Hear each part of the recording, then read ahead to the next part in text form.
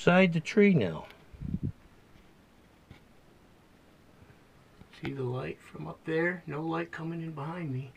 Can you see the hole going up into the branch?